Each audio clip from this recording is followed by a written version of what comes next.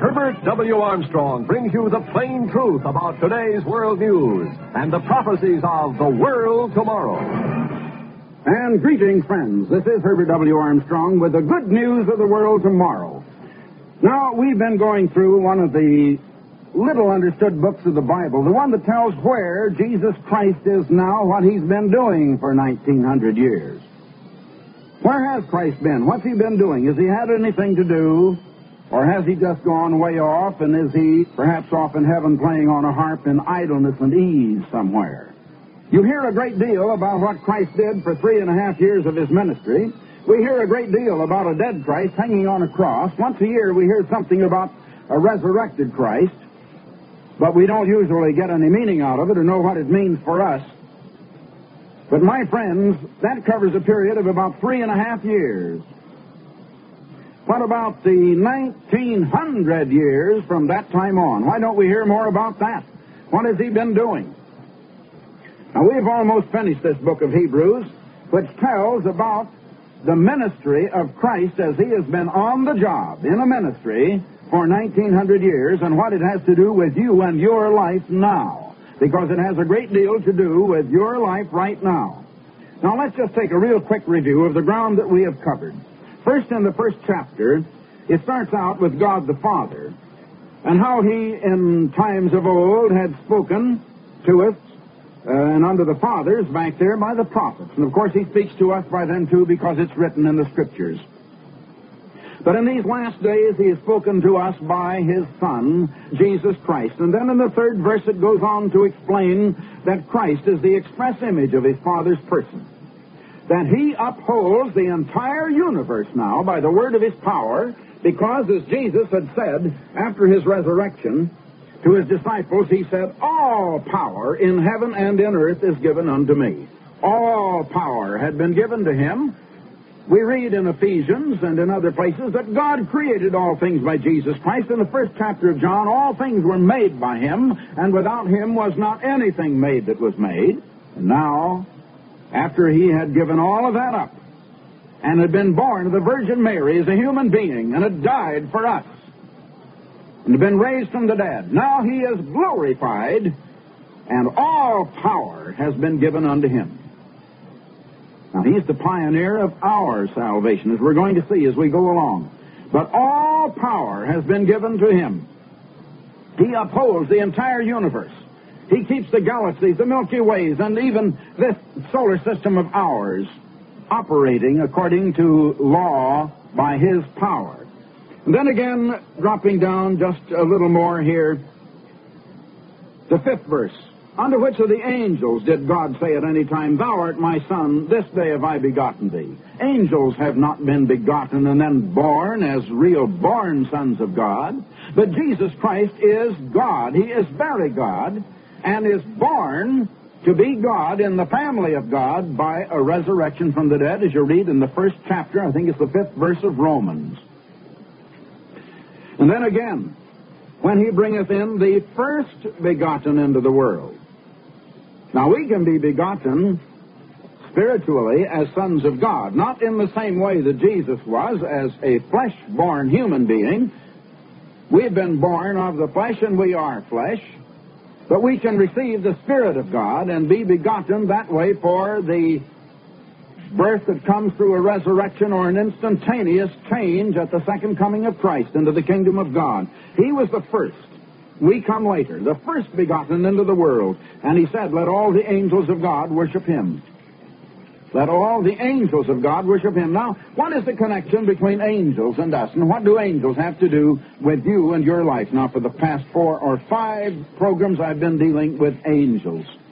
And I think it's the first time that most of you have ever heard anything in the way of a sermon, a lecture, or anything of the kind explaining and expounding the truth about angels and what they are and where they came from and what are they like and why are they and what's their purpose? I still have a little more I want to say in the present program on that. Of the angels, God said, verse 7, the first chapter, who maketh his angels spirits. Now he's quoting that, of course, from the 104th Psalm as I read it to you. And his ministers a flame of fire. Angels are spirit beings. They're higher than man. They're not as high as Christ because let the angels worship him. He is worthy of the worship of the angels. But under the Son, Jesus Christ, showing his preeminence over angels, showing how much higher he is now than an angel. Under the Son, who is Christ, God says, Thy throne, O God, is forever and ever. A scepter of righteousness is the scepter of thy kingdom. Notice he has a kingdom. Therefore, he is a king and a ruler. He has power. He has authority. He has the power and authority that sustains and keeps in motion every force, every power in this whole universe. Now, there's a little about angels here in the last two verses of the angels. In verse 14, are they not all ministering spirits? They're spirits, they're higher than we are, but they're ministers. A minister is a servant and one who serves. So they are servants sent forth to minister for them who shall be the heirs of salvation. Now, Christ has salvation, and we are his heirs. The new covenant, the New Testament, is the last will and testament of Jesus Christ. He has died. We are his heirs. He bequeaths to us everything that he has, and that is all power in heaven and in earth, because it has all been given to him. We then are the heirs of salvation. Christ is so great that he is worthy of the worship of angels. Angels are much higher than human beings than we are now. Now then, continuing in the second chapter, therefore we ought to give the more earnest heed to the things that we have heard, lest at any time we should let them slip. For if the word spoken by angels was steadfast, and every transgression and disobedience received a just recompense and reward, a third of the angels sinned, a third of the angels turned in rebellion against God and God's government. Now, angels, as I've been showing you, are part of the very government of God. They are the servants superhuman spirit, subordinate beings, servants of God in the government of God. There are angels up in the throne of God, surrounding the throne of God. God can send angels here to the earth, anywhere, to carry out his mission, but they're spirit beings, and as such, you don't see them. You can't hear them or feel them or anything of the sort. So a scientist knows nothing about an angel. All we know about angels is what you find revealed in the Bible. So if you want to know whether it's true or not, all you have to do is to prove, and you can prove it, whether or not the Bible is inspired by a supernatural creator God who knows. A God of intelligence who is telling the truth. Now, if the Bible then is the truth, and if it tells the truth, and if it is inspired, then you must believe what it says about angels.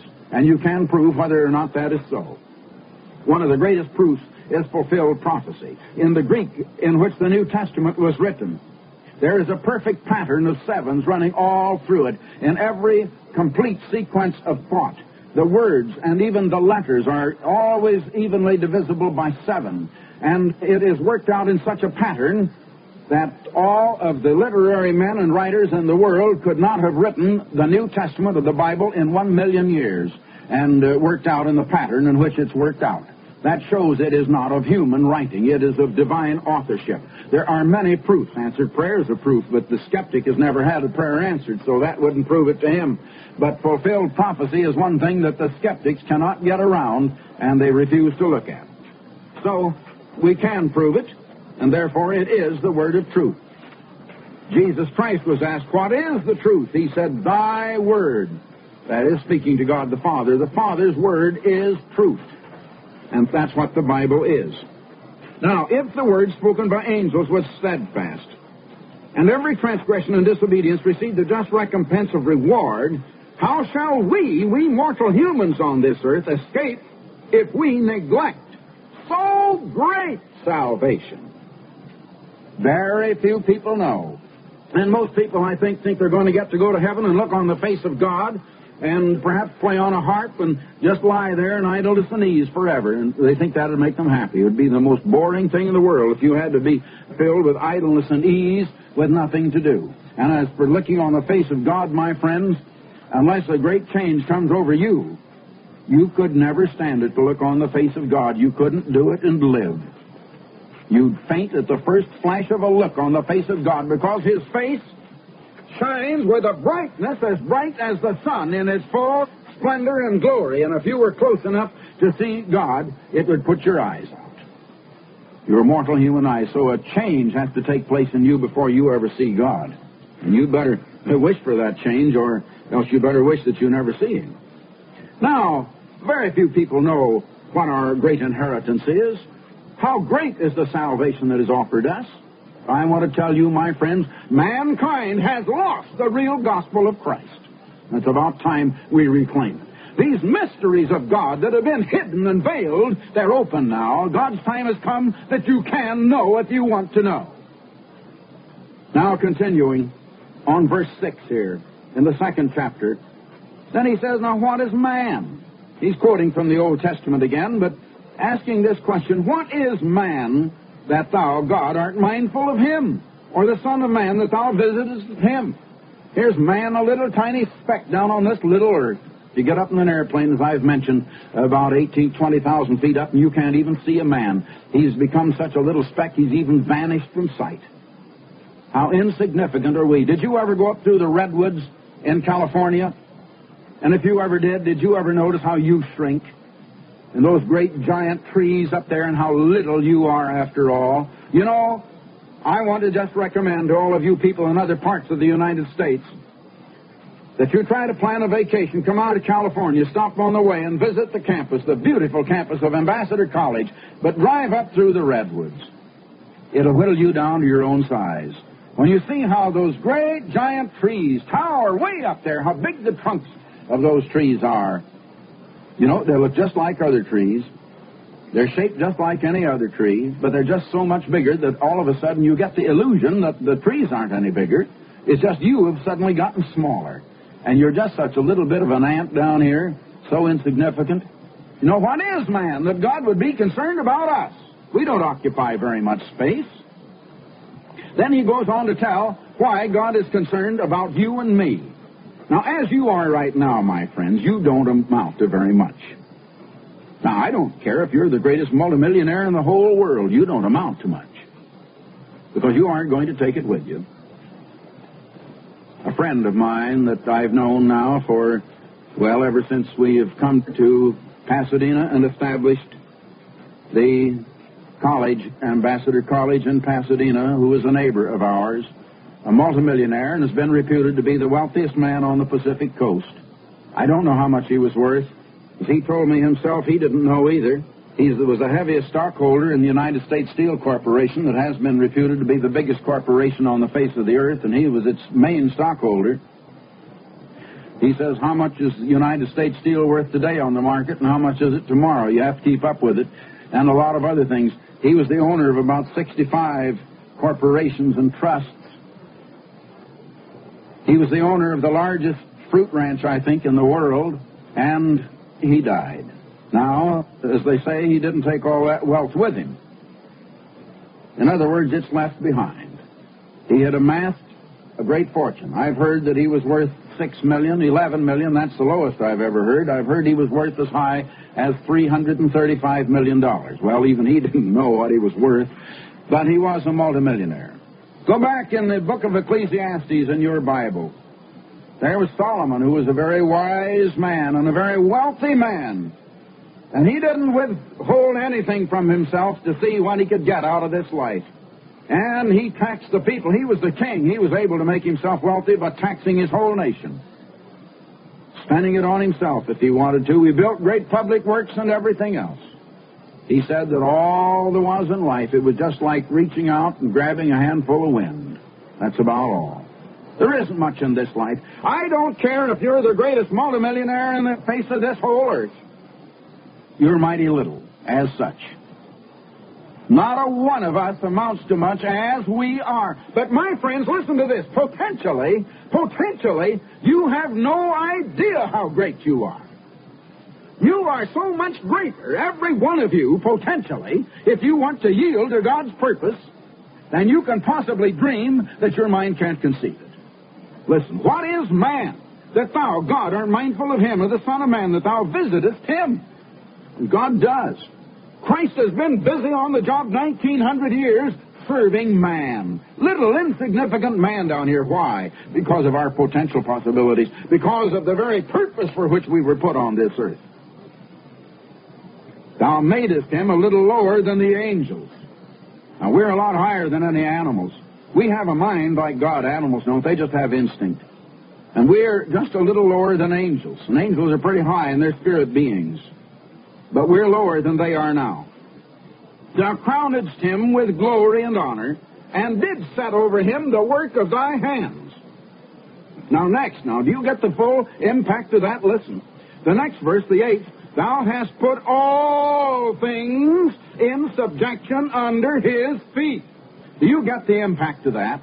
Listen, back here, it said that Christ, the express image of the Father's person, God the Father, upholding the entire universe is the correct translation. If you get a different translation than just the King James, the entire universe by the word of his power. Jesus Christ has been given power and authority over all things. All power is in his hands, and we are co heirs with him to inherit what he has. That's all power. That's what it is. And we are co heirs to inherit that with him. He is merely the firstborn of many brethren. We are to be glorified even as he is. We are to share that great power with him. Can you understand that? Do you know that Jesus Christ, my friends, has the power in one second to cause every human being on this earth to drop dead? Jesus Christ has the power to blow up this whole earth. He isn't going to do it. Don't worry about it. Because if there was any danger that he would do such a thing, God Almighty would never have given him that power. He could never be given the tremendous power he has until he had qualified, even as a human mortal being on this earth, until he had proved that he would use that power according to the will of God the Father, and that he would never abuse it, that it would always be righteously, perfectly used. And you're never going to qualify to share that power with him until you can qualify to handle, to control, to direct the great powers of this universe. What is man? God says here, Thou hast put, in the Word of God, Thou hast, God the Father, has put all things under subjection under His feet. But now He goes on to say, For in that He put all in subjection under Him, and that's man. That's this little insignificant mortal man. All things under subjection in our feet, in that He has put all in subjection under him. He left nothing that is not put under him. He left nothing. Nothing. That means what it says. That's in the Bible. That's the truth. That is directly inspired from God Almighty. And I can prove it. There, my friends, is the very aim. There is the very objective of the whole gospel. You're never going to hit higher than you aim. And if you want to know what is the aim, the purpose of the Christian life, that's it right there. I say to you that the gospel of Jesus Christ has been buried under a rubbish heap of pagan superstition for about 18 and one half centuries. My friends, open your Bible and the proof of it is there. It was not of my making. I certainly had nothing to do with it. I'm not bragging that I'm the only one that knows the truth. That isn't it. Anyone can know the truth who will. God says, Thou hast put all things in subjection under his feet. Now, back to the first chapter of Genesis, you notice that what he put under subjection to Adam back there wasn't all things, not at all. Let's just turn back to that for a second, real quickly. So, in the 27th verse of the first chapter of Genesis, God created man in his own image, but he created man out of the dust of the ground. He didn't put all things under his feet.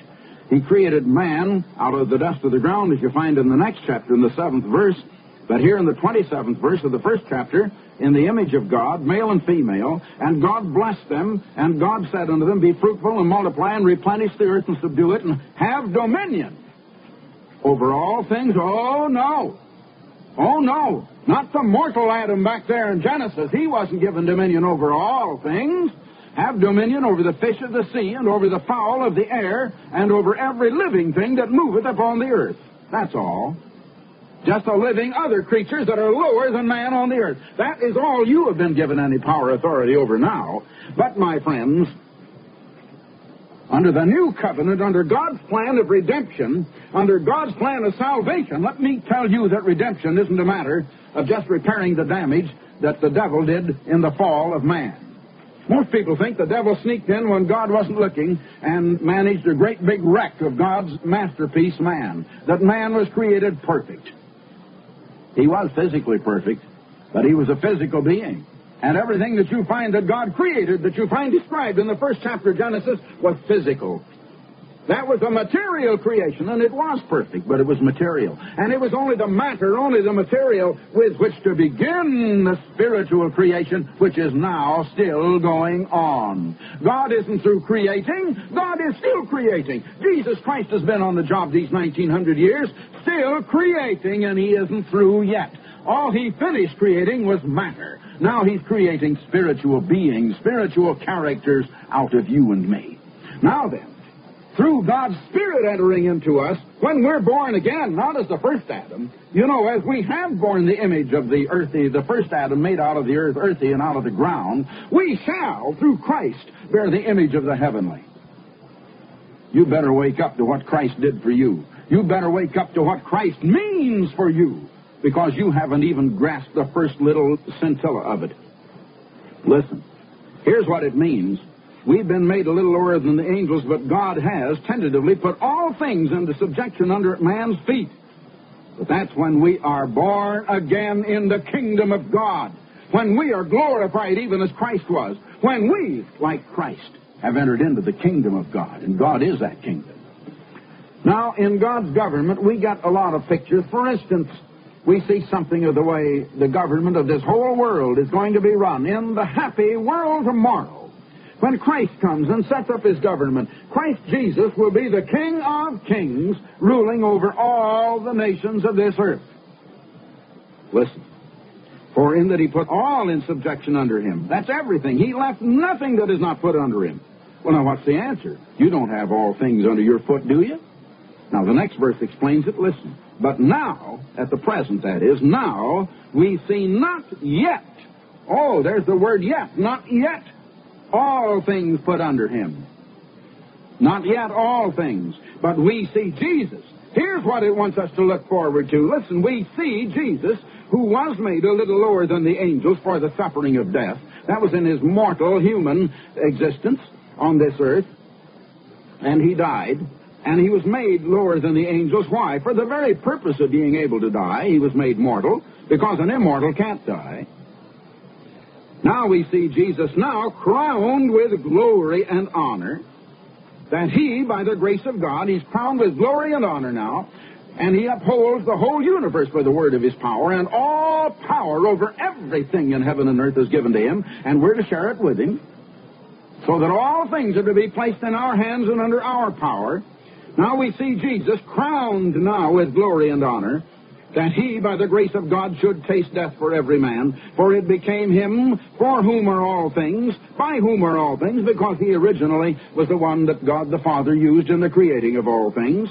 We see him in bringing many sons. Oh, he never called angels sons, but you and I can become very sons of God very sons of God, just like Christ is. He's merely the first begotten, the firstborn of many brethren, now bringing many sons unto glory. Christ in that glory has a face that shines with the full strength of the sun. He has eyes that are like flames of fire. He has all power in heaven and in earth. And we're to be brought to that glory, that is, if we are Christians. Many sons unto glory to make the captain of their salvation, or the pioneer, as some translations have it.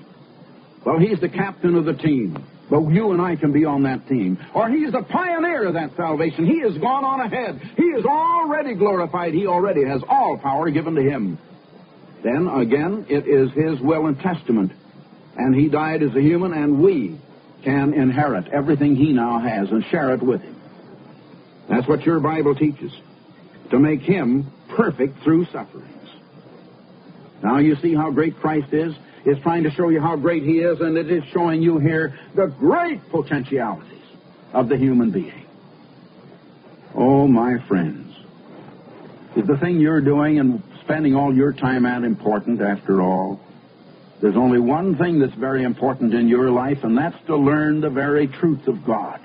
That's to learn the objective that's to learn the purpose for which you were put on this earth to become a son of God, to share with Christ all that power and all that glory. But Jesus Christ was never given that kind of power, that kind of glory, and that authority until he had demonstrated that he could take it, that he would use it wisely, that he would not abuse it. And you will never be given it until you prove the same thing. What a great gospel. No wonder he said, How shall we escape if we neglect so great salvation? I don't think you've ever realized how great it is. Well, now then, continuing in the third chapter, wherefore, holy brethren, if you're one of the brethren, if you're begotten of God, the Spirit of God is in you, and that Spirit is holy and makes you holy. And the brethren are holy. Are you holy? I don't think most of you are. But you can be. You could be, and you ought to be, and you can be. Wherefore, holy brethren, partakers of the heavenly calling, partakers with Christ in all of that glory and all of that power. Oh, there's going to be something to do.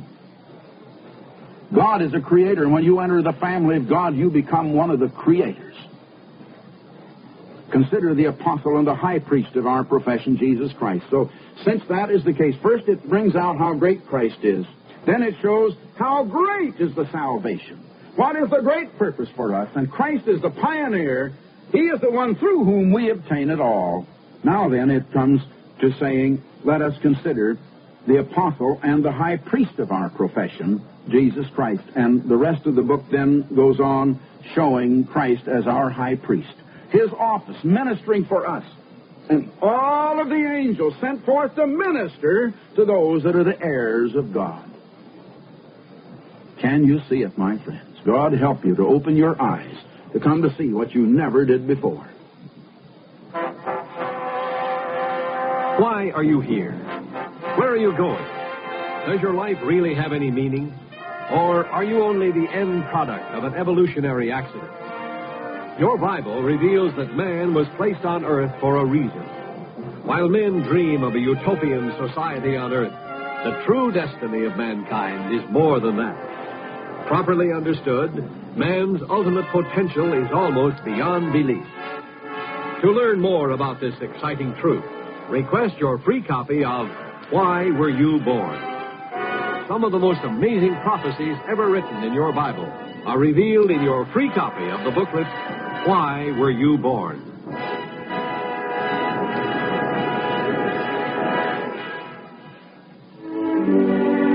You have heard The World Tomorrow with Herbert W. Armstrong, sponsored by the Worldwide Church of God. For literature offered on this program, Additional programs and literature available at hwalibrary.com.